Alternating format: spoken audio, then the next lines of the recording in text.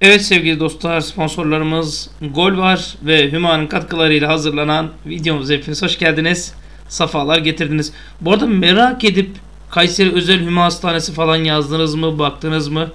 Ben o zaman merak ederim ya adama sponsor oluyorlar herhalde küçücük bir klinik falandır derim. Ama ben bakmanızı tavsiye ederim arkadaşlar. Bu arada bütün Hüma Hastanesi çalışanlarına selamlar olsun. Ee, yakında belki işimiz düşer gideriz. Sonra oraya vardığım zaman bu kimdi demesinler hepsi, hepsini tanıması lazım yani. Tabii şaka bir tarafa ama e, bu vesileyle de bütün sağlık çalışanlarımıza buradan kucak dolusu selamlarımızı, sevgilerimizi iletelim. Özellikle pandemi sürecinde çok ama çok net bir şekilde ortaya çıktı ki gizli kahramanlar her an her yerdeler. Ve inanın arkadaşlar şunu söyleyeyim. E, bize çok kahraman lazım. Yani sağlık sektöründe de, eğitim sektöründe de, diğer sektörlerde de çok kahraman lazım. Ben dua ediyorum inşallah işini güzel yapan, memleketini, insanlığı, vatanını, milletini düşünen bütün herkesin Allah yar ve yardımcısı olsun. Gerçekten yardımcısı olsun. Çünkü bazen e, çok bunaldığımız, sıkıldığımız zamanlar oluyor. Fenerbahçe'ye geçelim. Fenerbahçeli Buruma sahalara ne zaman dönecek belli oldu diyor. Bu arada ben bir duyuru yapmak istiyorum arkadaşlar. Twitter'ımda yaptım bu duyuruyu. Bir kez de buradan yapmak istiyorum. Ses S S A A S. Duyuru ilanen duyurulur. ilanen duyurulur. Fenerbahçe futbol A takımının sözleşmeli futbolcuları olan Armindo Buruma ve Mauricio Lemos her türlü teklife açıktır. Fenerbahçe yönetim kurulu olarak Buruma ve Lemos konusunda her türlü teklife açık olduğumuzu duyururuz. Satlık, kiralık, opsiyonlu kiralık, opsiyonsuz kiralık, oynama garantili, garantisiz kiralık, maaşının bir kısmını ödemeli, ödemesiz kiralık, ne bileyim maaşını şu bankadan çekince promosyonlu kiralık, promosyonsuz kiralık her türlü teklife açığız. Seyyanen duyurulur. Şimdi bur Buruma'ya dair önemli gelişme yaşandı diyor haberde. Sakatlığı vardı. Forma giyemiyordu ve Jesus tarafından e, illaki yabancı listesinden bir kişi dışarıda kalması lazım. En az bir kişi. Ki bu bizde 3 oldu. İnşallah siz bu videoyu izlerken bu videoyu izleme saatlerine kadar e, giden kapı gelmiş olur da sayı azalmış olur. Ama 3 kişi mecburen lisans çıkarılamadı ve kadro dışı kalmış oldular. Takımla çalışmalarını sürdürüyorlar. Ben geçtiğimiz günlerde buna ilişkin görüşmelerim, görüşlerimi belirttim. O yüzden bunu atlıyorum. Buruma Hollanda'nın PSV Eindhoven takımından kiralandı. Geçmişinde bir Galatasaray oynama macerası var. Ki bize çok yaramamıştı. Mesela Geri Rodriguez'de benzer bir süreç yaşamıştık ama kendisine yıllar yıllar içerisinde çok fazla bonservisler harcandı ama Fenerbahçe Spor Kulübü kiralamıştı. Hatta hatırlayın açıklamamız şu şekildeydi. Kulübümüz PSV Eindhoven kulübünden Armindo Tue Na Bangna'yı satın alma opsiyonuyla bir yıllığına kiralamıştır. Bakın satın alma opsiyonuyla bir yıllığına kiralamıştır. Buruma lakabıyla bilinen kanat oyuncusu 2022-2023 sezonunda Fenerbahçe'mizin formasını giyecek. Portekizli oyuncunun Ülker Stadyumu Fenerbahçe Şükrü Saraçoğlu Spor Kompleksinde gerçekleştirilen imzasında yönetim kurulu üyemiz Selahattin Baki de hazır bulundu. Buruma'ya Türkiye'nin en büyük spor kulübüne hoş geldin diyor. Çubuklu formayla nice zaferler ve şampiyonluklar diliyoruz demişti.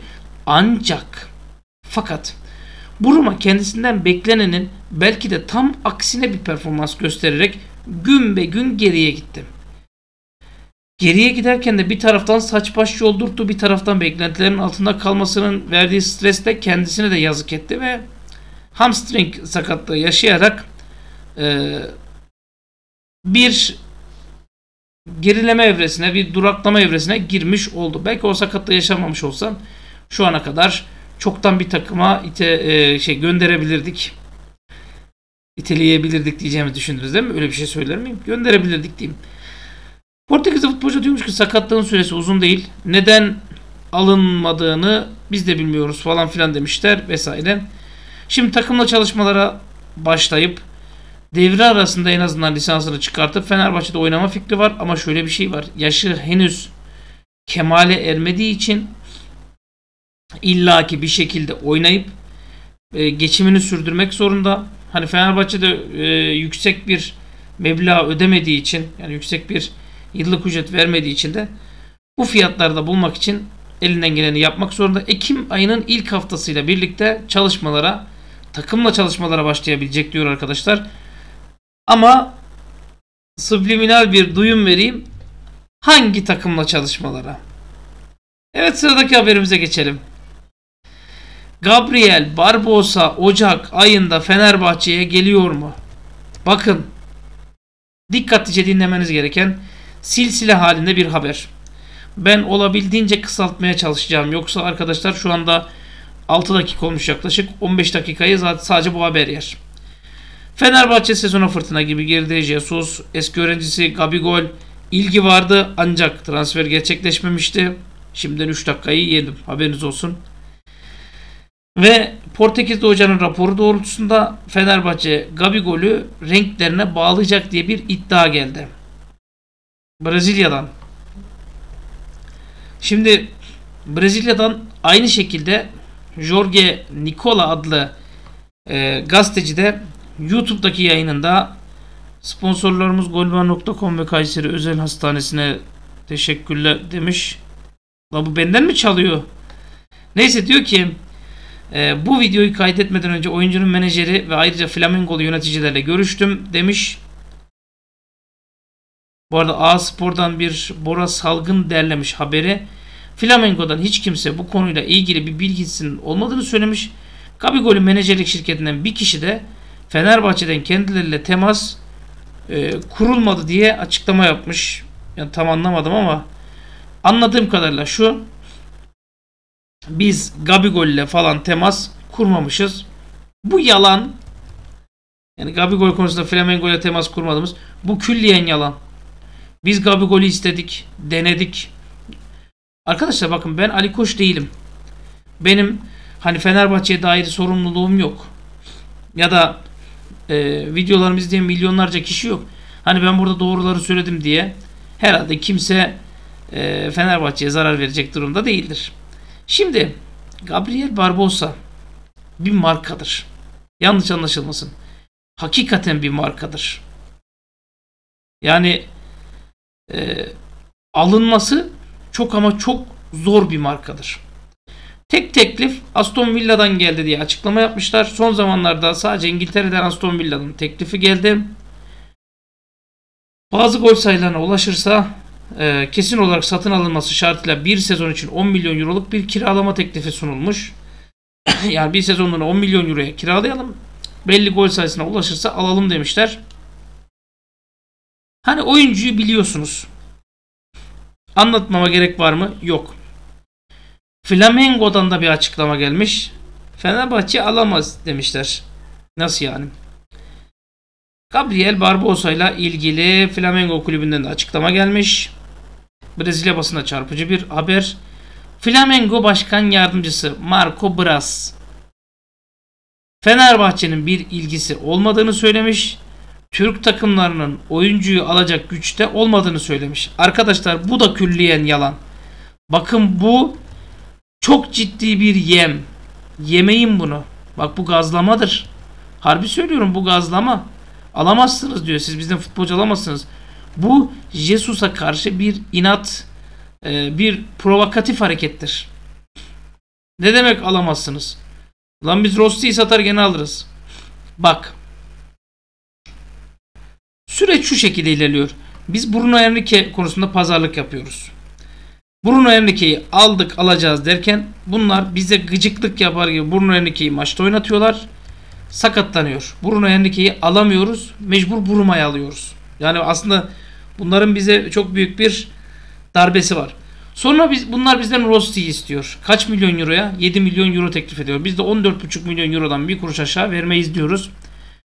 Hatta biz şöyle bir teklif sunuyoruz. Rossi'yi verelim artı 7 verip Gabriel Barbosa'yı alalım diye. Bunlar da kesinlikle kabul etmiyoruz diyor. İki takım arasında çok ciddi transfer pazarlıkları yapıldı. İstediği kadar yok desinler. Yapıldı. Demiş ki ayrıca Gabigol'ü nasıl alacaklar? Şaka mı bu? Serbest kalma maddesi 35 milyon euro olan bir oyuncuyu Türkler alamaz demiş. Bitti mi bitmedi. Braz demiş ki eminim Fenerbahçe bu ücreti ödese bile Gabriel oraya gitmez demiş. Bence kesin konuşma. Allah nasip eder inşallah Fenerbahçe şampiyon olursa. Hatta inşallah nasip olur. UEFA'yı falan Fenerbahçe alırsa bu lafı sana yediririm. Biraz. Bak biraz kimsen kimden kimden dans ettiğin farkında değilsin. Bak ben oraya getirme beni. Seni rezil ederim bak. İnsan içine çıkamazsın bak. E, e, elimde belge dedim bak Brezilya'da yayın elinden oynar bak. Diyor ki Gabriel eğer ayrılırsa ilk tercih İngiltere ya da İspanya olacak demiş. Performans bilgileri bu arada 2019-20 yılında Inter'den 17,5 milyon euroya transfer edilmiş. Inter Santos Benfica'da forma giyiyor. Flamengo formasıyla toplam 178 maç, 109 gol, 31 asist yapıyor. Şimdi aslına bakarsanız şu saatten sonra zaten hem alma ihtiyacımız olmaz hem almayız. Ama sizlere rica ediyorum dua edin. Baş duayı iyi çıksın. Gollerine başlasın. Ee, yüksek oranda, yüksek sayıda goller atsın. Diyelim ki iyi ki bunu almışız. Ben de 3,5 milyon euroya diyelim. Bakın arkadaşlar. Futbolcu almak mesele değil. Almak ayrı bir dert. Oynatmak ayrı bir dert. Oynatmamak çok ayrı bir dert.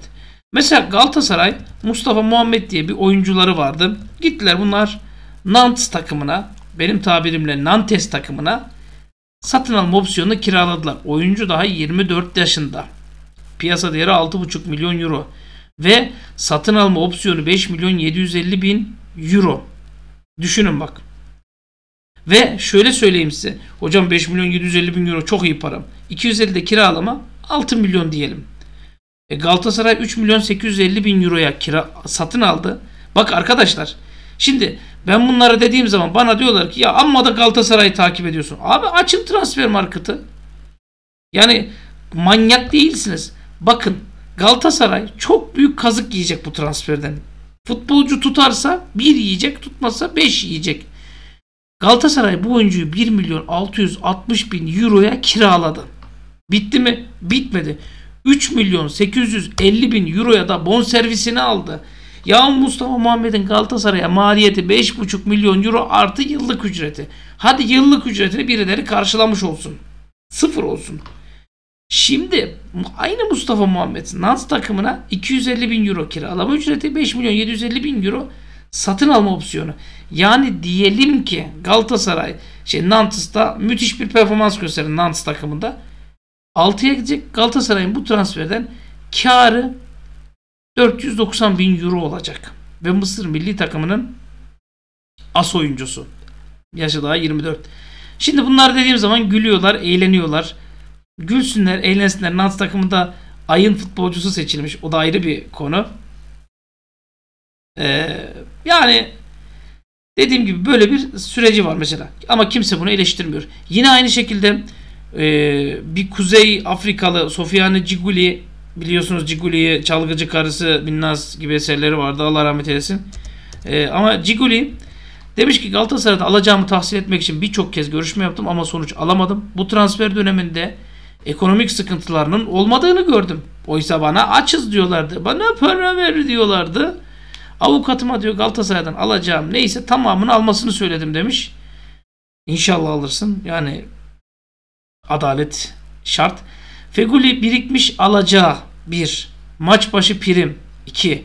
Bonuslar 3.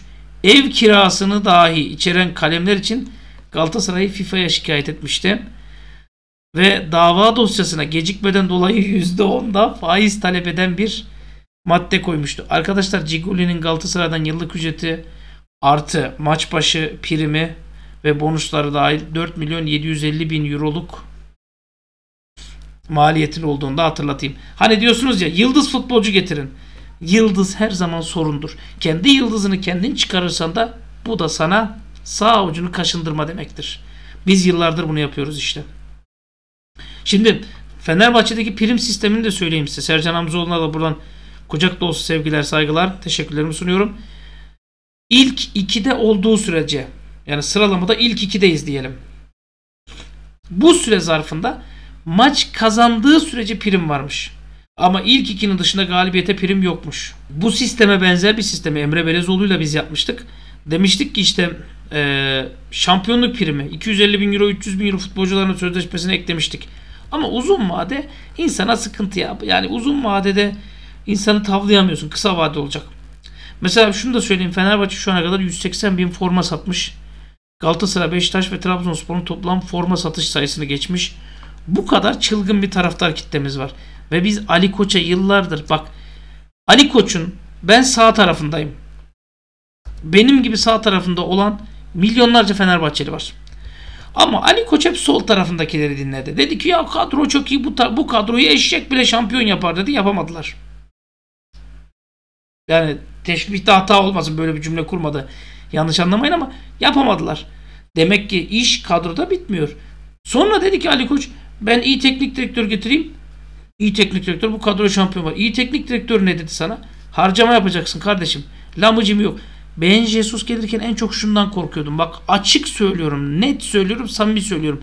Jesus her gittiği takımda sansasyonel transferler yapıp yani feci bütçelerle futbolcu transfer ettirmiş. Tamam Darwin Nunez'i şunu bunu satmış etmiş ama adam bir gelmiş şu 25 milyon euroluk şu futbolcuyu alın.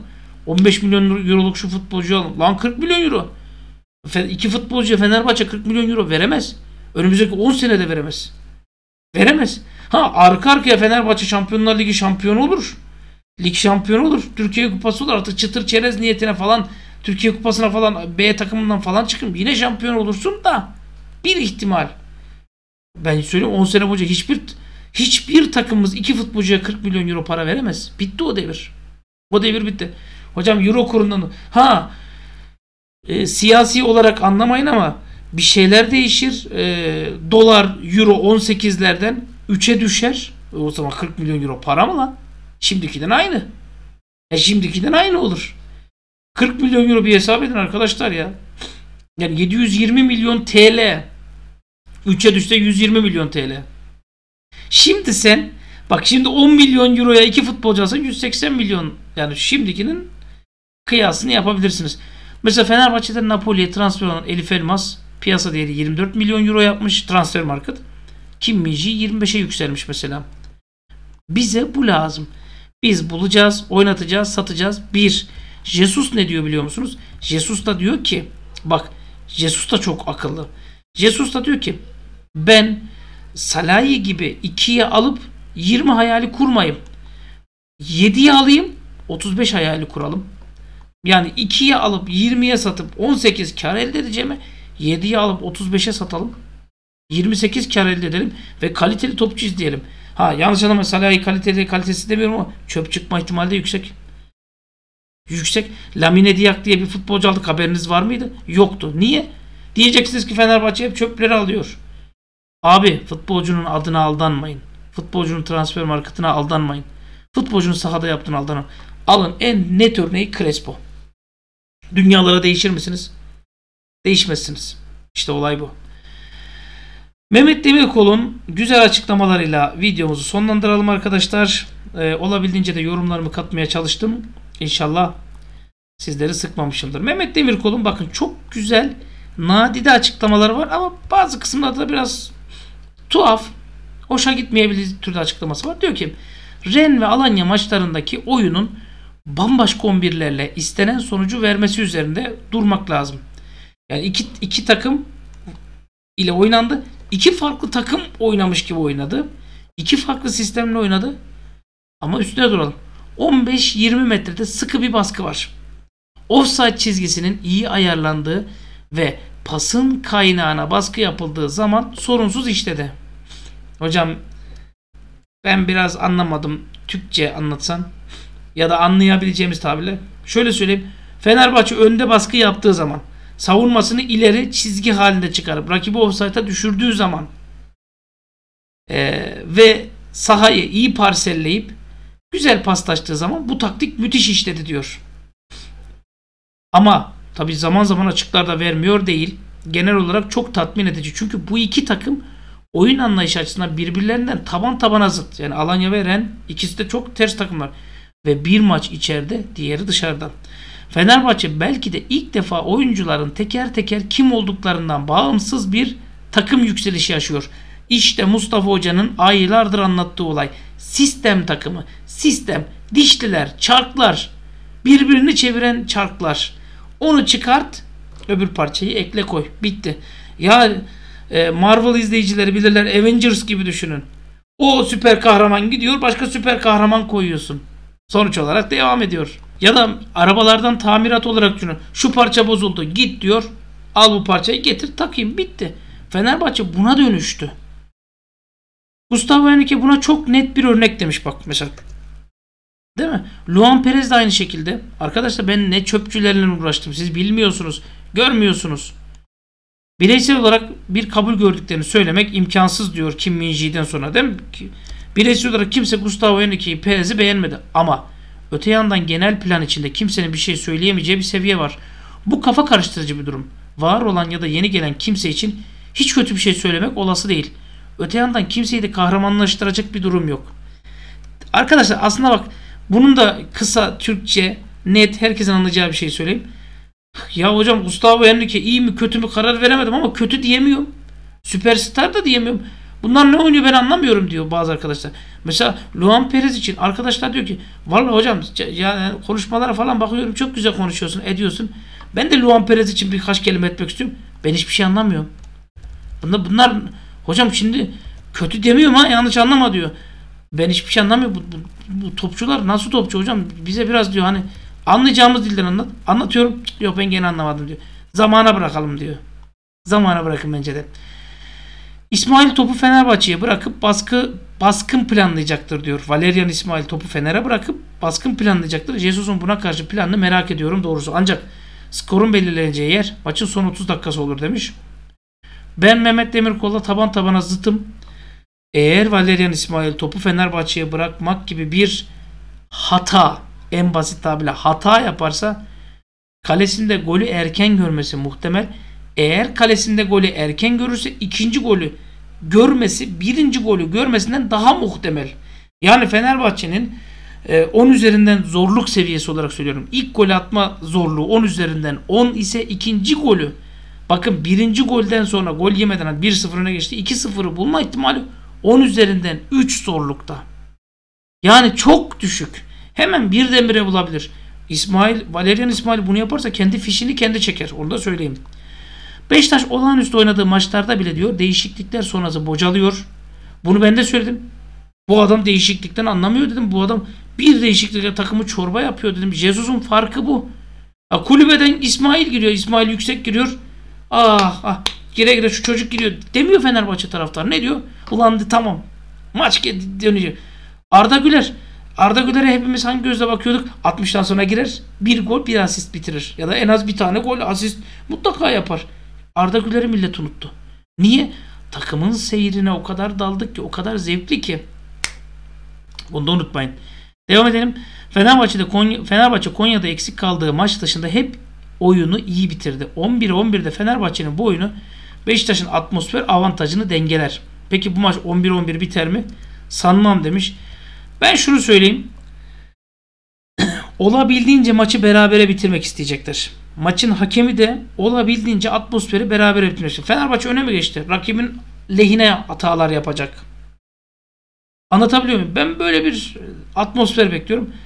O yüzden Fenerbahçe'nin çok zeki olması lazım. Jesus'un çok zeki çalışması lazım. Devam edelim. Az kaldı arkadaşlar. Bu seviye fizik futbolu idare edebilecek hakemlerimizi emekli ettik. Yani bu seviyedeki fiziksel futbolu idare edecek hakemlerimizi emekli ettik. Elimizde buna yakın iki genç var. Onların da mental olarak bu maçı kaldırabileceklerini düşünmüyorum demiş. Fenerbahçe'de rotasyon mantığında bakıldığında uzun seyahatten gelen bak burası önemli. Rotasyon mantığıyla bakarsan uzun seyahatten gelen mesela Valencia, mesela Rossi ve milli maçlarda 90 dakika oynayanların sahada olmasını beklemediğimi söyleyebilirim. Kesinlikle yanlış. Salahi, Alioski, Ferdi. Ferdi iki maçta da oynadı hemen hemen. Değil mi? Ferdi. Ee, Rossi, Valencia bunların hepsini birden yedek tutacağını zannetmiyorum. Elde yeterli stoper olursa Jesus üçlüye döner. Katılıyorum. Ekleme yapmıyorum. Çünkü üçlü savunmada kaleden 50 metre uzağa kurulan savunma offside çizgisini daha iyi ayarlıyor. Tabi savunmayı Beşiktaş analiz sonrasında bu şekilde mi kurar onu da bilmek ee, sıkıntı diyor. Arkadaşlar çok ama çok basit ve net bir şekilde sorayım. Beşiktaş'ın en tehlikeli yeri geçenki videolarda da konuştuk. Kanatları değil mi? Hocam kanatlarda işte Gezzal oynarsa Gezzal, Enkodu oynarsa Enkodu. Değil mi? Yani bunlar Muleka'nın e, içeri kat edip hücuma vereceği katkı vesaire dersiniz. Peki Fenerbahçe'nin en tehlikeli bölgesi neresi? Hiç düşündünüz mü? Fenerbahçe'nin en tehlikeli bölgesi diye bir bölge yok. Yok. Böyle bir şey yok. Kimi zaman çıkıyor kahraman orta saha oluyor. Kimi zaman kahraman sol bek oluyor. Kimi zaman kahraman sağ açık oluyor. Kimi zaman kahraman oyuna sonradan giren oyuncu oluyor. Bakın Fenerbahçe'nin bariz şurası zekidir. Hani şey e, çok iyidir. Burası müthiştir diyebileceğim bir durum yok. 46. Yani Fenerbahçe'nin her tarafı iyidir. Ama Fenerbahçe'ye korku veren taraftarın korktuğu Gustavo Henrique işte hocam şöyle böyle falan işte korktuğu şu bu. Ama bakın arkadaşlar makine dişlileri gibi çarklar gibi birbirini çeviren çarklar gibi dişlileri işliyor. Plan bu şekilde. Üçlü savunma oynarsan Vegors tutacak. Gustavo Henrique var ki ben söylüyorum maçın şifresini. Ben e, Jesus'u tanıdığım kadarıyla çıkacak 11'de söylüyorum. Ha şunu da ısrarla belirteyim. İlk 11'i bilsem bile paylaşmam. Gerçekten bu hainlik olur. Çünkü adam kimle çıkacağı belirsiz. Ki rakip kime tedbir alacak belirsiz. Dörtlü mü çıkacak belirsiz. Üçlü mü çıkacak belirsiz. Ortadan mı delecek belirsiz. Kanatlarına belirsiz. Bu belirsizlik Fenerbahçe'nin işine geliyor. Ama ben Jesus olsam Altay, Gustavo Henrique, Atilla Salahi, Luan Perez. Luan Perez sakat mı? Merkeze Serdar Aziz. Sola Atilla Salahi koyabilir miyim? Pek tabii koyabilirim. Ama farklılık yapıp e, Gustavo Henrique, Atilla Salahi, Alioski üçlü savunmasında kurabilir. Bu dediğimi unutmayın. Perez oynaması Alioski'yi stoper üçlüsünde görebilirsiniz. Orta sahanın sağında Osayi, solunda Ferdi. Merkezde mutlaka Crespo Arao. Ki iki futbolcu da milli takıma da gitmedi çok şükür. Diriler. Kurduk. Hücumun sağında İrfan. Kilit açıcı. İşte solu ve forvet karışık. Ben olsam Valencia'yı oynatırım çünkü Ekvator maçında bayağı küfür yedi. Joshua King'in durumu belirsiz. Cao Pedro oynayabilir. Başduay oynayabilir. Hocam hem Valencia hem Başduay ile çıkar mı? İkisi birbirini tamamlar nitelikte futbolcu. Böyle bir çılgınlığı ben yapabilirim aslında. Ha şunu söyleyeyim. Savunmada Serdar Aziz'i oynatıp solda Ferdi'yi oynatırsan hücuma bak hücuma Cao Pedro, Valencia Başduay'ı üçünü bir koymak gibi bir çılgınlık yapar mı? Yapar. Baskı var, pres var ve diri futbolcular. Ee, zaten bunu yaparsa maçın seyri değişebilir. Her şey değişebilir. Fenerbahçe her an patlamaya hazır bombaya dönüşebilir. Ama kazanalım da kaç kaç olursa olsun mantığındayız. Daha derbiye e, uzun bir süre var. Konuşmamızı sürdürürüz. Kanalımıza desteklerinizden, katkılarınızdan dolayı teşekkürlerimi sunuyorum arkadaşlar. Görüşmek üzere.